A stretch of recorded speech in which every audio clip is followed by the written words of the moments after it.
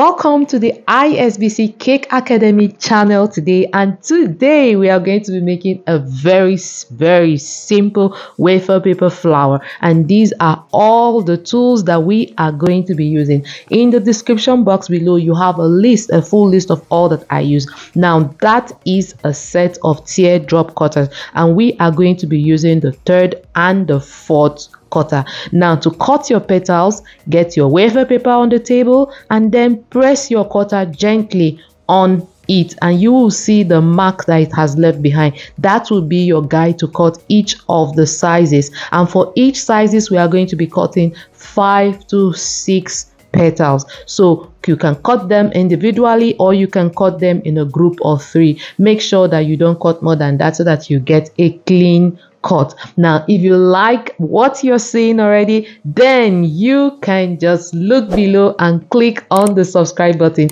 In this channel, we are all about sugar flowers, wafer paper flowers, and all things cake decoration. And while you're at it, don't forget to also press the notification bell so you know when we post amazing videos like this. So let's kick on.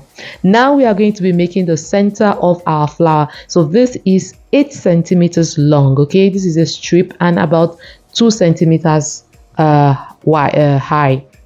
Now cut out tiny little strips tiny tiny tiny little strips on your strip. This is making a stamen. Make sure they are not fat because it will look funny. Make sure it's really really tiny and then you will get a very beautiful center. Now once that is perfectly cut you can go over it cut the ones that are fat okay? Now i'm going to be using some sugar glue and using it at the bottom because we did not cut out the strips to the end. We cut it midway okay?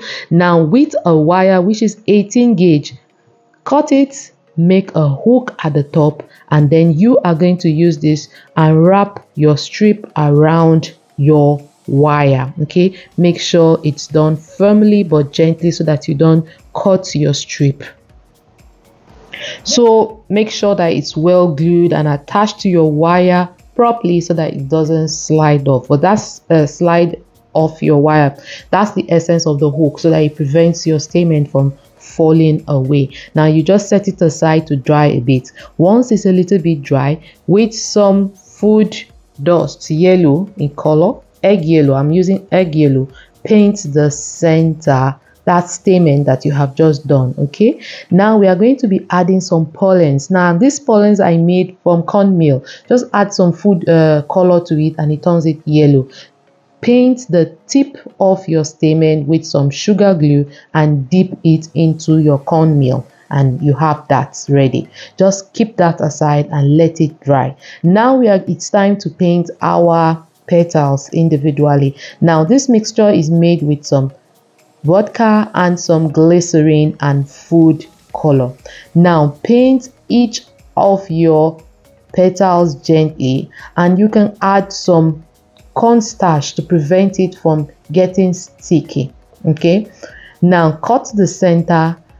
I'm using the same color the food the the paint to glue my my petals together because it's wafer paper. Anything you actually use on it glues it with something else okay? So i just cut it in the center glued it to itself to make it cupped and put it on my plastic spoons okay and just let it set. It's going to take less than 10 to 15 minutes to dry.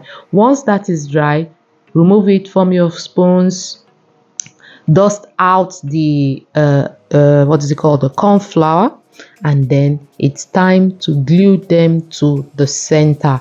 That stamen that we had made. So i'm painting some sugar glue to the bottom and adding them to my stamen one after the other. So what i do generally is i put a first set because it's not easy putting everything all at once. It may just fall off. So to make it more sturdy and more firm i put the first five or six depending on how many petals i want to use first let it dry upside upside down and then when it's time again you put when it's dry a bit you put the next set okay? And you have a flower that is firm and ready to use almost immediately okay? Now this is how you do this flower.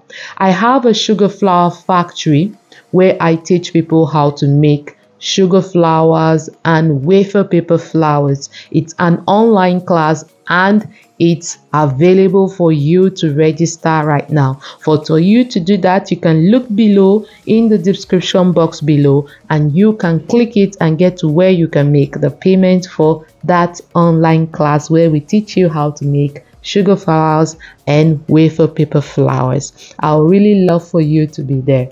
Do you like working with wafer paper? Have you worked with wafer paper, uh, wafer paper before? Let me know in the comment section. It's not as difficult as you think. Let me know your thoughts about wafer paper. So I'm going to be putting my last petal and we are almost there. This wafer paper flower is going to be really beautiful. You can do as many as you need and add them to your cake. Now this was made in pink. You can make it in whatever shade of color that you want. So now i am just taping the bottom of my flower and my wafer paper flower is ready